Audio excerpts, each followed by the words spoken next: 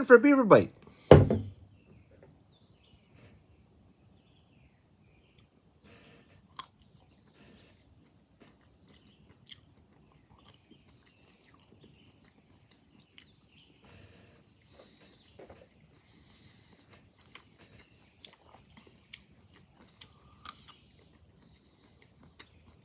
Mm.